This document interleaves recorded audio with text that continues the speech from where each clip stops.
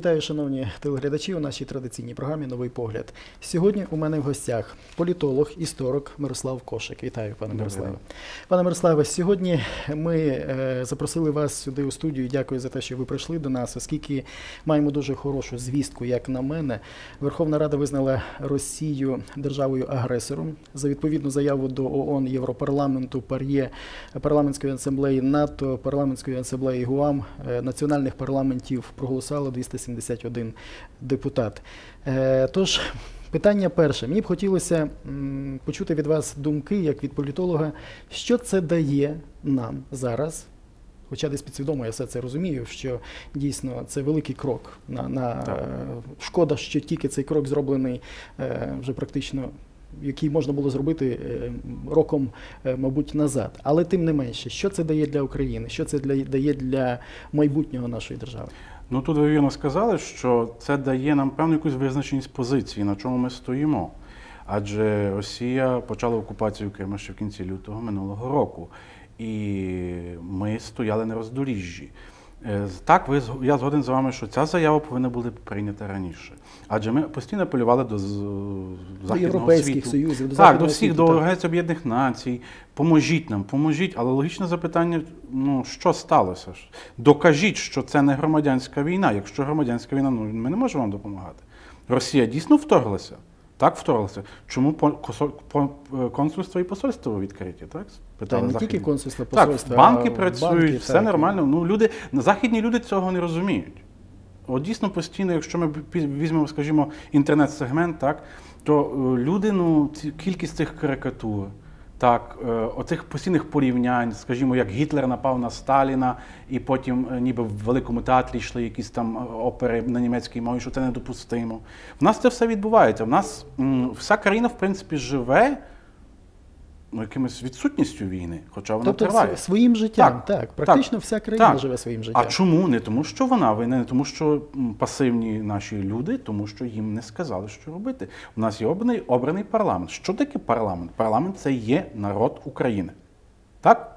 Мінімізований до 450 Так, ну, тобто чоловік. громади делегували людей. Делегувала цих людей. І ці люди повинні, повинні відобразити волю народу. Ось вони аж сьогодні це зробили. Великий жаль, що лише 271 депутат. Хотілося б дійсно знати прізвище, хто не голосував. Ну, я думаю, що зараз Скоро ми знаємо, так, ті ми це прізвища, хто не голосував. Я думаю, що Е, е, ця- це не залишиться такою Так, ця заява вона прекрасна є. Вона дійсно розв'язує нам руки. Це дійсно хороший документ. Е, він, от тут є заклик до західних країн допомогти нам. Ми не оголошуємо військового стану. Ні. На нас напали. Ми просимо про допомогу, оскільки в нас немає. Ми мала країна в порівнянні з Росією. Так, ми демократична країна, і ми, як цивілізована європейська країна, просимо про допомогу. Ну, Це ще враховуючи те, що все-таки цивілізований світ брав е, на себе відповідальність. Так, і От, власне, скажімо, якщо говорити про Будапештський меморандум е, 1994 року, так, Росія, Велика Британія, скажімо, і Сполучені Штати Америки були гарантами нашої цілісності, нашої держави. І коли Росія, одна з країн гарантів, напала на нас. е, Ті дві країни, Сполучені Штати і Великобританія, чекали подібної заяви вже тоді. Вони ж не можуть вони ж не можуть додумуватися. От мені здається, вся ця наша політика на, на протязі минулого майже вже року, вона пов'язана з особливістю української політики, так званої підкилимної, де все має розумітися на, на е, кивок голови, чи ну ти ж все розумієш. Розумієте? Захід це все не розуміє. Але що саме цікаве, що це не тільки на, на рівні е, великого керівництва, будемо говорити, на рівні держави. Оцей механізм працює і на рівні органів місцевого самоврядування, Так. по кивку, по жестам Так. і так далі. І так далі. ну ти ж розумієш. Ну, Але чому так? Ну, це вже інше питання. Тому, так, тому так. Бо е, вже, скажімо так, вже дуже давно у нас існує система влади, яка абсолютно не розуміє, чого хоче народ, і вона працює ради себе, а не для народу. Ну, Але ж по великому рахунку та влада, ну якщо взяти навіть е, на сучасному на сучасному стані часу, так е, на сучасному етапі, е, ми маємо нового президента, ми маємо новий парламент, який практично на 50, ну 60 Ну, він кращий, е, змінився. Прийшли нові обличчя, люди, які були і в бою на в зоні АТО, тобто були е, приймали участь в бойових діях. Тобто змінилися люди, там інший контингент людей. Так. Що попадаючи в те місце, вони е, міняються. Можливо, цю верховну може Мож- цей купол треба змінити. можливо, з, ну так, по-перше, з дуже- місцем пов'язано. Можливо, щось. ні, ну і з місцем також. Так, наприклад, здається, хто то е, Наливайченко не хотів сидіти в кабінеті цього Якименка попередника, що він каже, ні, я не буду в цьому кріслі сидіти. Можливо, ж треба якось священника укропити місця, як зробили це, коли місця комуністів укроплювали. Справа не в тому, справа в тій системі влади. Ну я вже це як історик, я це завжди говорив. В 1991 році була проголошена незалежність України. Чому вона була проголошена? Е, вона була проголошена не з бажання будувати національну державу, а з бажання, скажімо, бути захищеним, ну, скажімо, від таких явищ ГКЧП, яке сталося тоді. Подивіться, будь ласка, от навіть вже тоді, ну хто став головою Верховної Ради і першим президентом? Секретар Компартії України по ідеології, при всій повазі до Леоніда Макаровича Кравчука, який з роками, напевно, багато що зрозумів, ну але ну, подивіться, кого ми вибрали. Ну там були там були чіткі домовленості. Тобто Правда ми залишаємо комуністів, Так. даємо вам незалежність, але залишаємо тих так, людей. Так, розумієте, ми створюємо такий собі заповідник комунізму. Так. До речі, треба визнати, на 91-й рік Єльцин був більш радикальним і демократичним, ніж, скажімо, Кравчук і Україна. Е, Демократичні зміни в Росії в 91-му році йшли дуже швидкими, е, ну, дуже швидко йшли швидше, ніж в Україні. Можливо, це бажання, ну я не хочу нічого казати, це велике свято наша незалежність 24 серпня 91 року. Але проголосивши її, наш уряд не зробив нічого, щоб збудувати справжню національну державу. Оскільки Українська Радянська Соціалістична Республіка так і залишилася. Тільки Та слово вона- соціалістична забрали. Вона існує до сьогоднішнього дня. Українська Радянська Так, Республіка. Так, система, Влада рад так. колективної безвідповідальності. Де все, ну ти розумієш, отак як вони говорять. Це є влада колективної безповідальності. Я про це говорю вже роками. Що ця система повинна бути змінена. Ну, бо подивіться, навіть на наше маленьке містечко, яке, якщо б ми жили в Європі, місто з 200 тисяч населення, воно має процвітати. Це має бути оазисом. Ну, воно ж воно ж не кероване. У нас навіть дійшло до того, що тротуари приватизовують біля ринку. Виявляється, тротуар приватизований. Ну це ходити ввечері не можна. Це ненормально. Чому? Якщо ти прийдеш з таким питанням, скажімо, до міського голови, міський голова скаже: Ну я намагався це пробити, але міська рада мені не дозволила. Підеш в міську раду, там теж вийдуть поважні патріоти. Люди скажуть, ми так хотіли зробити, але фракція така, то нам не дозволила. Та й мер не дозволив. Кругова порука. Система радянської влади була створена Володимиром Іллічем Леніним як система загальної широкої демократії. І вона діяла на, на перших роках, коли всі, люба кухарка могла керувати державою. Так? Але потім, коли люди нарешті зрозуміли, що ми можемо керувати, з'явилися комісари. З'явилися комісари. І все стало на свої місця. Комісари у вигляді обкомів партії. Потім вони так переродилися в обкоми партії.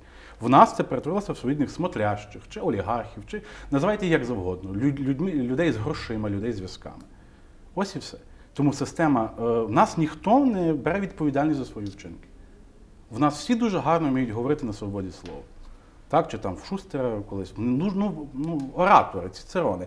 Але реально, от я от, от коли от відбувалися вибори 27 числа, я от там записувався був на телебаченні, і я от просив так людей, люди добрі, не, якщо вам хтось говорить, я робив те, те, те і те, ви запитайте, що ти зробив і що ти завершив, і які результати. І от по цьому суди цю людину. Але я бився в груди, я намагався, я робив то, то, то. Так не буває. У нас оце також на, ми робив, я робив. От Єгор Соболєв, хороший депутат, ніби хороший патріотичний. Він єдиний депутат, який від першого скликання сидить в парламенті.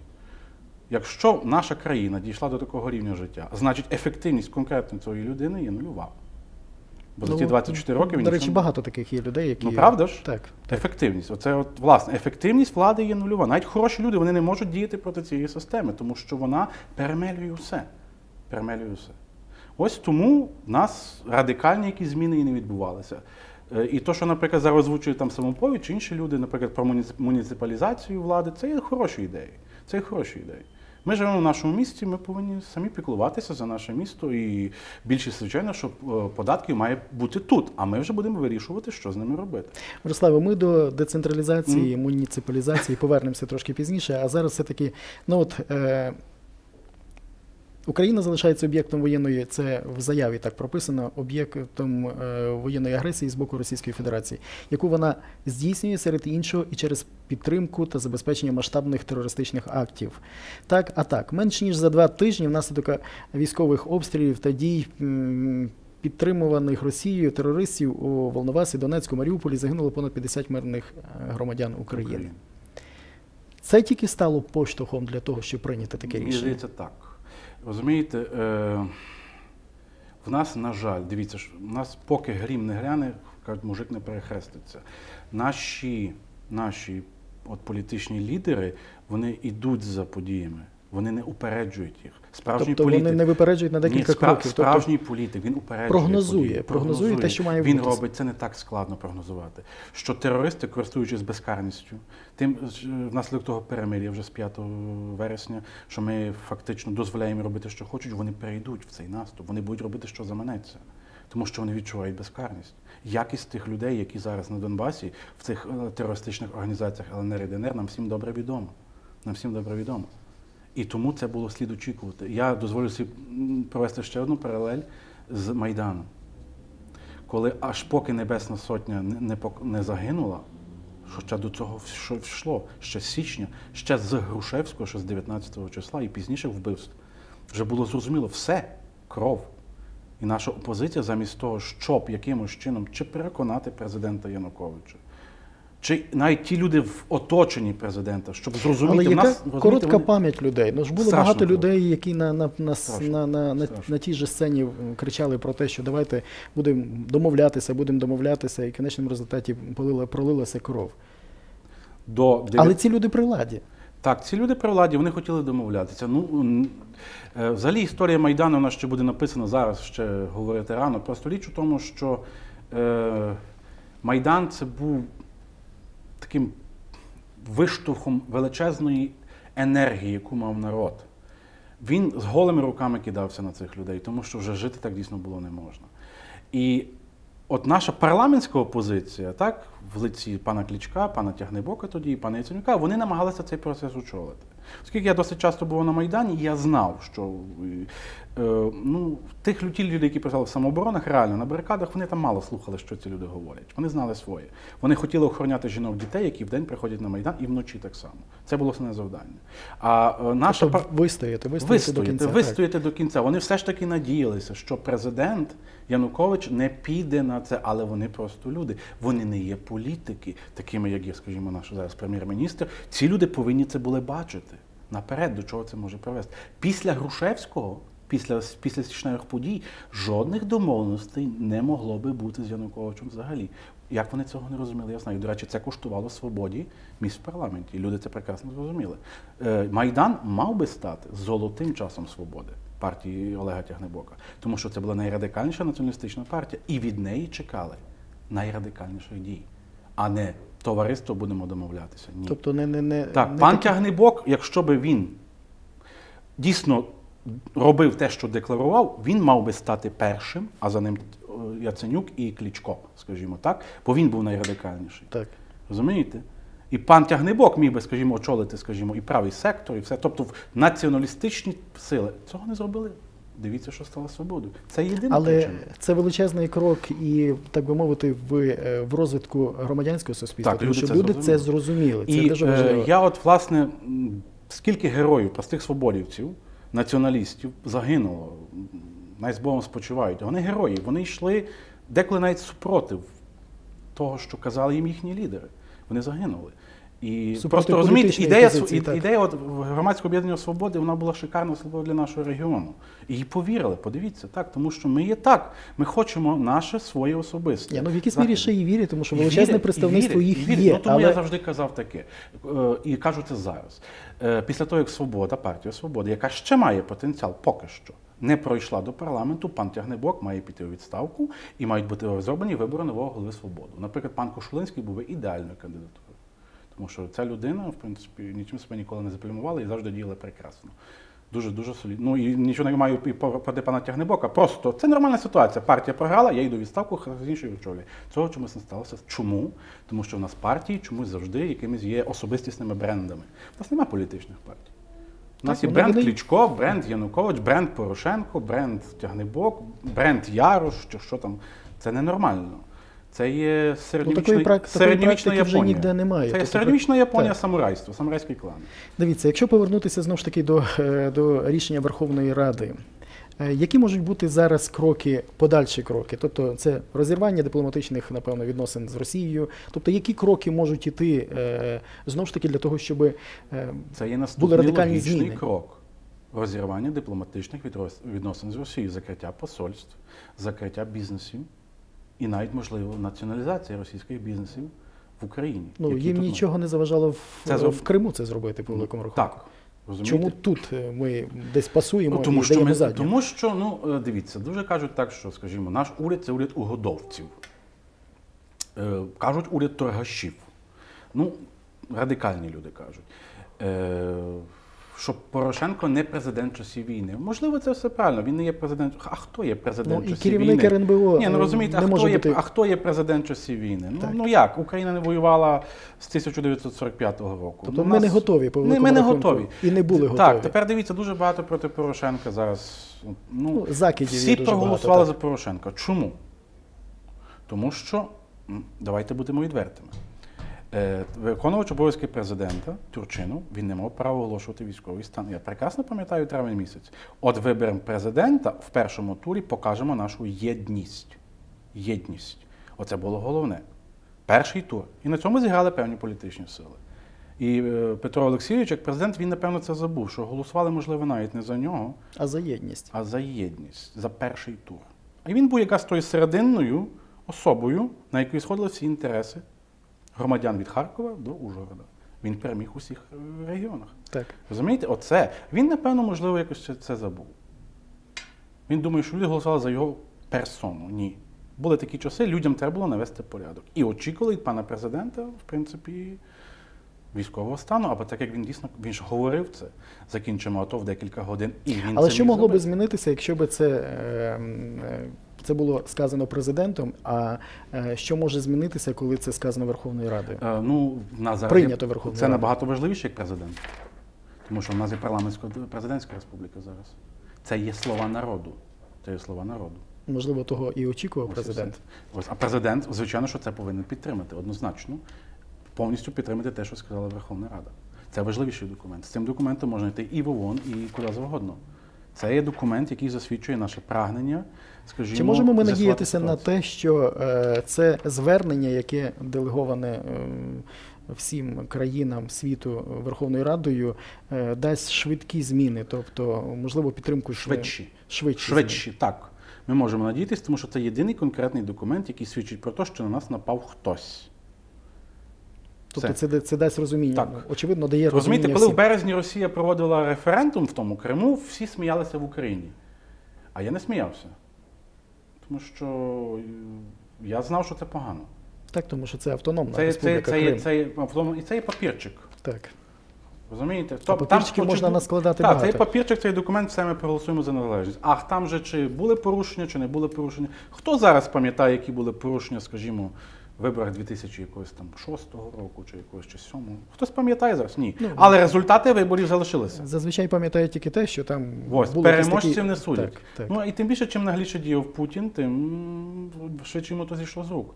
І е, цей документ дійсно дозволить нам е, почати роботу, скажімо, навіть по мобілі- мобілізації населення. Ну, з Тому другої що сторони, ця мобілізація, вона вже в якійсь мірі є відбу- дійсно. Ой, відбувається так, відбувається так. Ні, але вона е, в, в якійсь мірі є виправданою, судячи з рішення Верховної Ради. Ось тепер вона є виправданою. Мобілізація зараз і повністю виправданою.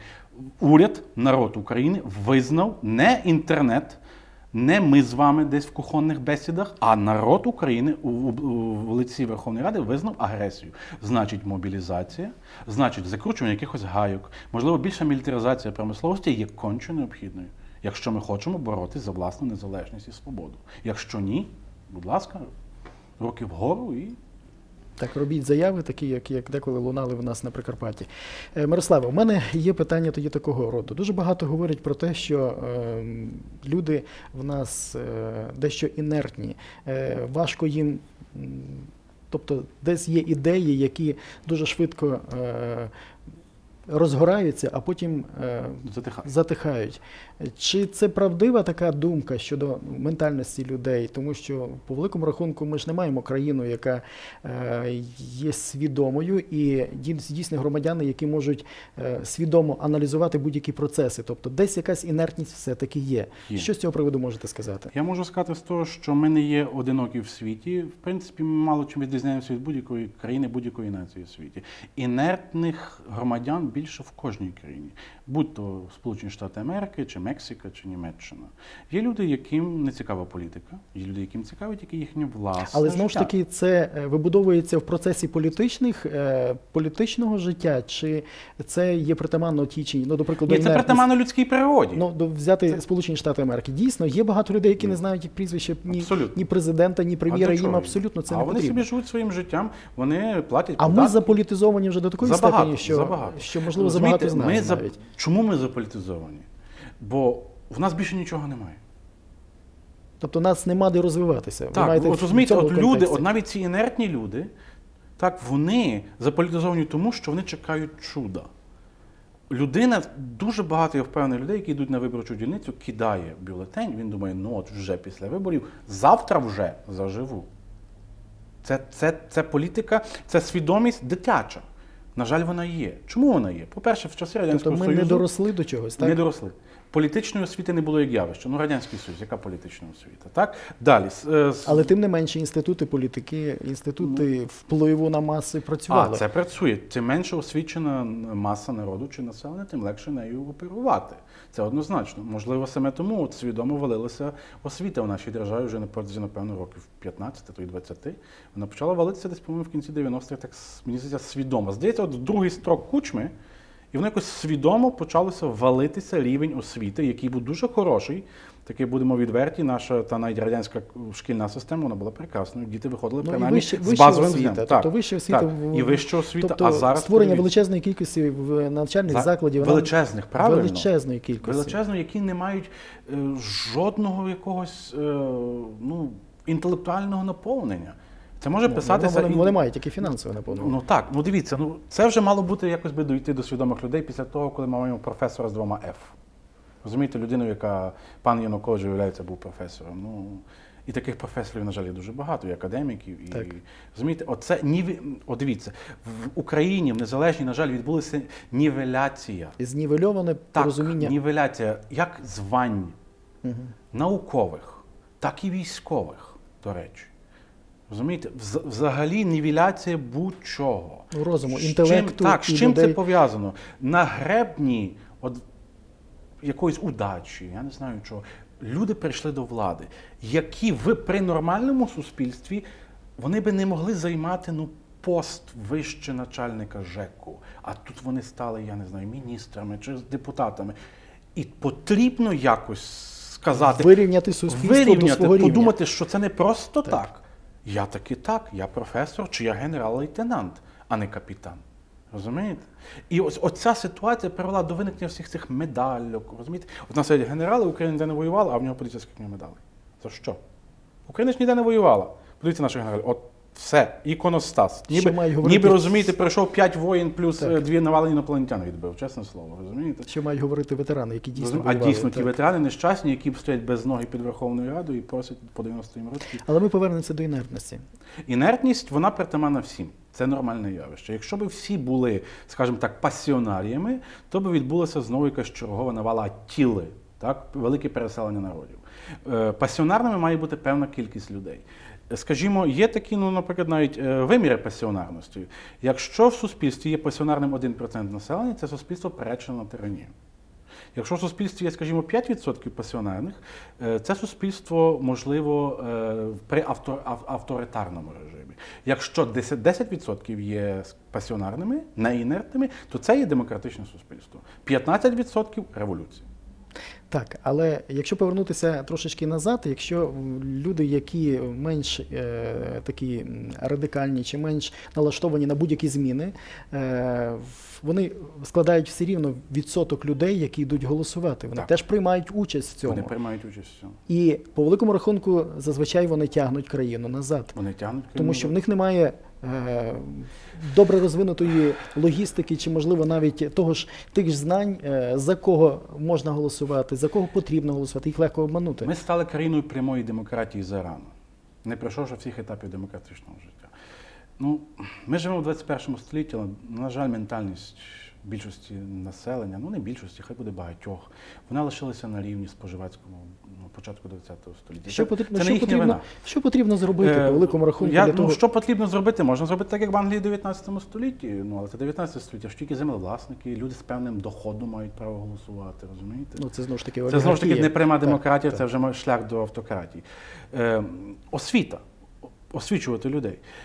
І в нас завжди будуть проблеми з голосуванням. У нас завжди нічого не буде мінятися, допоки люди будуть бідними. А в нас люди бідні. Але яким чином люди мають стати бідними, коли ми, Ні, ми бачимо, дивіться, ми бачимо, що по великому рахунку змінилося все. Так, президент, прем'єр-міністр, тільки багато ми не змінилися, так. Але знову ж таки, ці молоді люди, які нові люди, нові, нові люди, які прийшли до влади, вони знову ж таки тягар переносять на той середній і е, малий бізнес, якого практично, ну. Практично Вже немає. і так не існує, наладно Так. дихає. Так, а Тільки якщо середні. Сполучені Штати Америки, вони ж знають чудово, Так. як зробити тишину, спокій в країні, дати можливість середньому малому бізнесу розвинутися, Абсолютно. який буде працювати в своєму е, на, на своєму рівні, і, і їм буде вистачати е, на нормальне, достойне життя, на, на мрію так. мати власний будинок, яку вони е, засвідчили, і вона дійсно в них існує. Вони не розуміють одначе тому що, того простого і речі, що малий бізнес він знімає з держави дуже багато проблем по наданню роботи чи соціального забезпечення людям, які не мають роботи. Так, люди тому що самі малий себе бізнес, будуть- любий, скажімо, власник якоїсь піцерії, там він може найняти трьох-чотирьох людей і платити їм заробітну плату. І держава вже це не обходить, що ці люди роблять. Чи якась швейна майстерня, чи що-небудь. А вона, ну, в нас ще теж така велика біда є. Це в нас чомусь утворилося суспільство, яке любить торгувати. Не виробляти. Е, Тож я вже десь говорив, що проблема нашого суспільства в тому, що у нас не завершилась індустріалізація. І ми зразу пішли в постіндустріальний світ, не завершивши індустріалізацію. Але це теж зробили політики. Пам'ятаємо 2005 рік. Ну, пам'ятаємо, Відкрили так. можливість завозу секонд-хенду, все так, чого так, завгодно. так, так, Легка промисловість. Ну, один сегмент практично був похоронений. Після розвалу Союзу рахуємо ще, подивіться, наше маленьке місто, скільки заводів працювали, люди мали де працювати. Так. Люди мали де працювати. Люди не займалися, скажімо, продажею зернят на базарі чи поношеного одягу десь на базарі, чи десь е, їхати до Польщі за продуктами і назад. Це ненормально. Люди не повинні цим займатися. Розумієте, торгувати не повинні всі. Ми повинні е, суспільство тільки тоді суспільство нашого рівня, коли воно щось виробляє. А заводити, перепрошую, турецькі цукорки чи ще щось, ну це ненормально. Чи я перепрошую, ми е, з Прикарпаття, це м'ясний регіон. Я пам'ятаю, відкрив Краківську газету 1930 року, половина оголошень українських, українською мовою.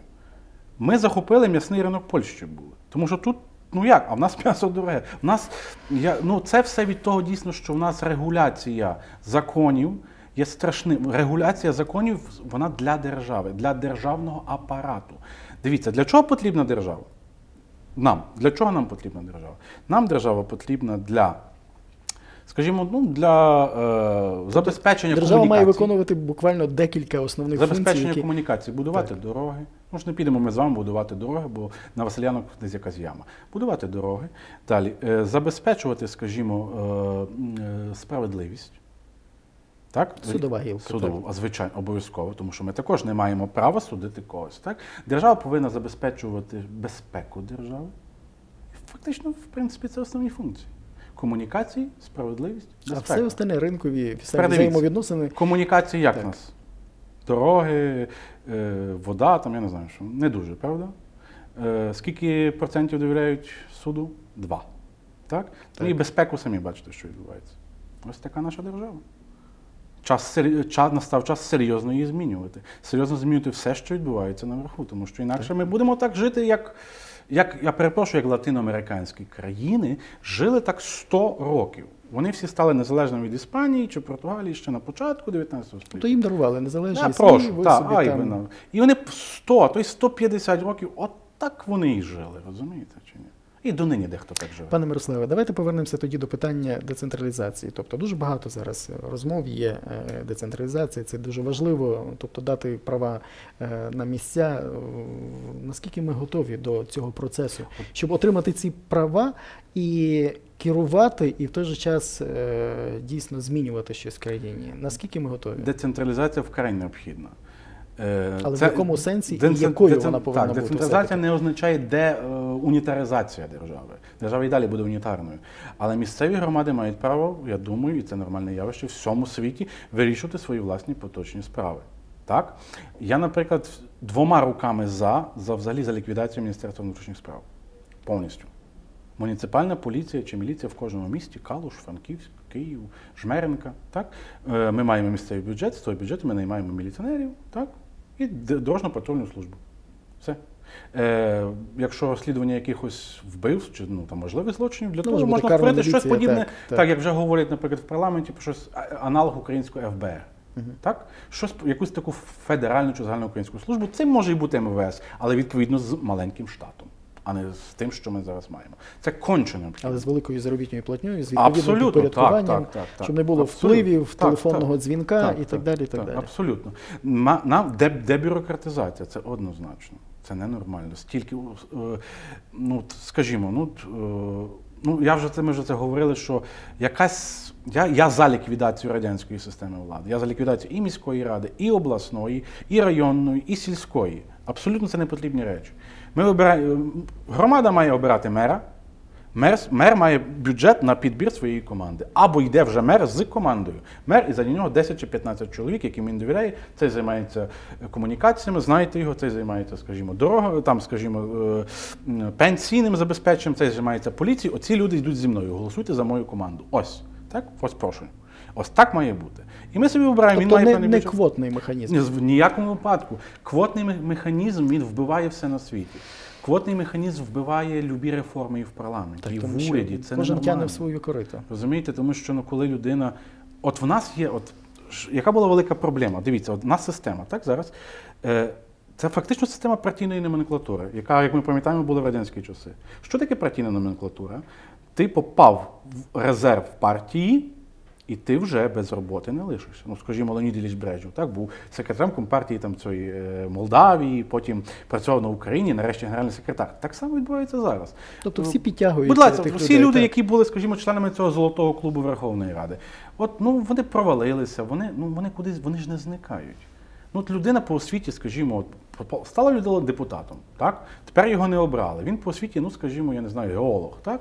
Його мусять його десь поставити. От якимось начальником чогось, там якоїсь податкової, хай буде в якомусь Кіровограді чи десь, і ну мусять. Людина не хоче працювати по професії. Розумієте? І це біда. І це біда величезна. В нас є номенклатура. В нас люди не зникають. У нас раптом втекло пару чоловік за кордон Янукович і його банда. І все. І то вони ж далі впливають на все. Ці люди не зникають. Це з цим муніципалізація також з цим буде боротися. Тому що якщо реальна влада буде сконцентрована на місцях, хай буде це Івано-Франківськ, чи хай буде це Отинія, чи я не знаю що, чи Калуш, громада, яка буде знати, що я плачу податки. Ну, звичайно, державні податки мусять йти. Армія, так, судочинство, дороги, це все має йти. Але відповідний відсоток незначний. На це все. Я все решта плачу в Відповідний Так. і відкритий, зрозумілий, Відкритий, куди зрозумілий вони всім. щоб Я плачу, скажімо, от в Сполучених Штатах Америки ставка федерального податку, здається, 5%. Ну, ти знаєш, от я 5% свого чеку плачу державі. Все, це мені на оборону, на все. Мене нічого не цікавить. Так, є Дороги, стан- міліція, мене це, ну, Є наприклад, там податок в штат, все. є Ну, податок п'ять- державний. та, А так. там же, а міські, до речі, набагато, і місцеві набагато більші, як державні Так, податки. так, набагато, 100%. в ряди більші, але ти знаєш. І виступає мер, скаже так, люди добрі, скажімо, нам потрібно, і це не повинно бути в Верховній Раді. Це мер міста. Нам потрібно ну, підняти на 1% податок. Мусите ще по 2 гривні лишні платити. Чому? Ну, біда, от котли всі порвало, треба замонтувати, грошей нема. Цей податок буде вічно, ні, каже мер, на півроку. Добре. Ну, кожне місто має свої закони по великому рахунку. так, що таке кожне місто так. і повинно мати свої закони. Ми ж жили по Але має бути праву. знову ж таки механізм, е, знову ж таки, має бути А, механізм контроль. відкликання цього А- мера. А тут йде Тому що- громадські організації. Тут є комітети виборців. Ну, у нас громадські організації теж почали створюватися. У нас є після, багато так, їх. По великому так. рахунку вони повинні були би е, навіть Вони якісь мірі, консолідуватися, об'єднатися, щоб відчути силу. Тут але вони не можуть Ні. відчути силу, Ні, тому що тому вони що, теж бідні, вони не мають на своє утримання. Тут ми повертаємося до проблеми середнього класу і Середнього і малого- і малого і бізнесу. бізнесу, Ми повертаємося до цієї проблеми. По, тобто, грубо кажучи, все, про що ми говоримо, при умові зберігання, зберігання оцієї системи, де реально 2000 гривень при курсі 20, так, може, 100 доларів може бути місячна зарплата, жодних змін не буде. Жодних. Не може бути пенсія 900 гривень зараз. Ця бабця бідна Але- дійсно. І я цю бабцю важко звинуватити, коли вона за той мішок гречки проголосує. Ні, її практично неможливо і не варто її звинувачувати, тому що це ем, людина себе ря- рятує. Рятує. Але е, друга сторона медалі, якщо розібратися, е, всі підприємства стоять. Всі стоять. Ми в військових в, в- практично в часі військових дій, ну визнаних вже станом Так. на сьогоднішній день. Е, яким чином можна знову ж таки е, знову ж таки підняти заробітні платні і е, пенсії, коли всі ці кредити МВФ вони ж не йдуть на будівництво заводів, вони ж йдуть на утримання валюти, а цією валютою можна коливати як А ось тепер так. А тепер так. Е, можна, можна це зробити не шляхом підняття заробітних плат і пенсій, а шляхом зниження цін. Або зниження податків, зниження Ну, просто звичайно, ні, навіть, до, навіть, до навіть, там- цін, навіть цін, ось то все любе, любе буханка хліба. А яким чином можна змінити, А тому що- змінити, а- знижити ціни, коли а ви не зауважили, що, а ви не зауважили, що, наприклад, в нас, от, скажімо, людина відкриває якийсь магазинчик, невеликий навіть продуктовий, і за рік вже їде на Лексусі. Тому що ціни зависокі. Ні, В на- просто в нас ціни не контрольовані. Дивіться, на, на- от, на основний, вертаємося на держави- основний кошик такий споживчий. Антимонопольний комітет. Абсолютно. Є монополія. Розумієте, все починається з базару. Коли збираються бабці рано, по чому нині продаємо молоко? Це ринок, вони мають право. Ні. Вони собі домовляються. Ні, ні, ні.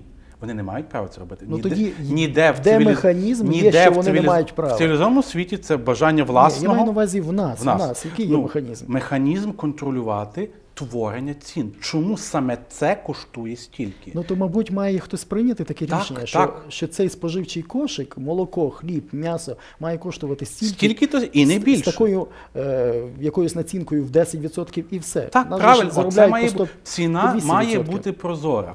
Ти знаєш так, що закупівельна ціна молока є така, податок, скажімо, якийсь там місцевий є такий, податок державний є такий. Все молоко не може коштувати, скажімо, більше такої суми. Все, хто продає більше, звертайтесь в відповідний антимонопольний комітет.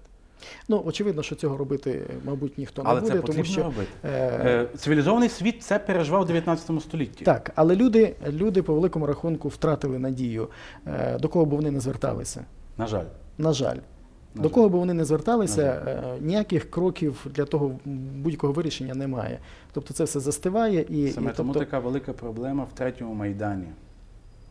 Що всі люди, ну розумієте, коли самі наші власті мущі якось якимось чином не зрозуміють, що вони йдуть в безодню з цим всім, це рано чи пізно може вилитись в страшну криваву бійню, на жаль. Причому неконтрольовані. І тоді саме існування держави України як цілісної держави може бути поставлено під запитання. Я не знаю, зараз дуже складно, тому що ця ситуація з Росією. е, Всі, звичайно, ну не можна списувати е, всі біди наші на те, що йде війна. Але погодьтесь, що багато зараз можна на це списати. Е, Тому що бюджет витрачає колосальні гроші. Колосальні. Навіть не дивлячись на те, що волонтерський рух допомагає дуже сильно, але ну, навіть оці всі операції, чи допомога померлим, чи загиблим, ну, це йде колосальні гроші. Але попри те все, ми бачимо, скільки є Але нарікань н- з того приводу, так. що вроді би йдуть кудись гроші, але, але ми хочемо бачити результат. так. Ми нарешті Так. хочемо бачити результат, куди вони йдуть. І це стояння на угрі, так, так зване це наше це перемир'я, воно або туди, або здавайтесь, або атакуйте, або робіть щось. Ну, сподіваємося, що сьогоднішній документ якимось чином змінить цю ситуацію. Можливо, нарешті на- президент і уряд почне говорити з народом більш відкрито. Ви зауважили, що наші політики вони не люблять відкрито говорити. Вони завжди щось завульовано говорять. Це звичка знову ж така, як ми з того колись почали. Ну ти розумієш, ні. Президент, наприклад, чого я чекаю від президента Порошенка, тільки він став президентом, що він стане і щиро поговорить з народом. У нас такі страшні проблеми. Так, я не можу цього зробити. Я не можу арештувати маєтки Януковича десь рахунки, бо я не знаю, де вони, чи які швейцарські банки мені не дають. Я не можу арештувати Захарченка, бо так, він десь не маю охороняється Росією, там 100, 100 чи 200 якихось його там спецназівців. Я не можу того зробити, але я можу зробити це, це і це. Вибачте, наразі я це зробити не можу. Такого не було. Нас і далі йде оця, знаєте, шустерівщина, знаєте, це переливання з пустого порожнього. Але що саме цікаве, що цим заражається дуже багато е, політиків і можновладців Нижчого рівня. нижчого рівня, Так, і вони роблять все те саме. те Якщо саме. вам наверху там можна це робити, ми будемо Те теж саме. це саме робити. Ми Так. бачимо по діях багатьох мерів міст, які роблять сесії, не оголосивши, тобто не маючи ні сайтів, тобто не маючи інформаційного забезпечення, що буде відбуватися, що вони роблять і для чого Для вони чого роблять. ти скликаєш сесію? Для Ти дай мені порядок так. денний. будь Тобто це от кулуарні такі рішення, вони собі вирішили, а ви народ А ви собі там хавайте. Ну Так, це так, ну так. вже те минулося. Вже навіть та не знаєте, минулося воно. на Ні, не минулося, що народ буде хавати. Потрошки вже воно є. Ну розумієте? Я глибоко переконаний, якби не було цієї авантюри з Кримом і Донбасом, в нас би вже зміни були набагато більші. Тому що найбільш Але бачите, хтось, радикальні хтось люди. міг це прогнозувати, а чомусь ми тут на місці, не, не, не, і не на місці, і наша влада, вони не могли цього про- спрогнозувати, що можуть бути такі наслідки після Майдану. Що Путін е, піде так, в так, Крим? Так, так. Ну та в принципі е, це прогнозувалося, але не так швидко. Ніхто не знав, що цей план був розроблений вже, напевно, 4-5 років, а може і більше, лежав в Путіна в кишенці десь там. Розумієте, фактично, я не звинувачую ту Верховну Раду, яка Але ж навіть ДНРовці і ЛНРовці говорили, що А вони не оце- думали, що вони так легко візьмуть а, е, ось, Крим. Оце, а ось оце Крим ні. Не було ні війська, нічого. Хай буде. Е, Верховної Ради було півтора доби після того, як втік Янукович, до початку якихось е, інтервенцій в Криму. Ні, та було До- військо, було багато і озброєння, все Яке було. військо і що вони там, чим вони там дихали. Ось, ще Але невідомо. просто ніхто не займався Власне. їхньою А от ідеологією оце, і що системою. Донбас, я перепрошую, якщо б це, це взялося в травні, ще навіть до виборів, це можна було це можна було зробити тоді АТО, не доводячи до, до такої величезної війни. До градів вони ще бігали там тільки з гранатометами. Максимум, що вони мали. Вже влітку, в серпні, вже все. Вже після Іловайська це вже справжня війна.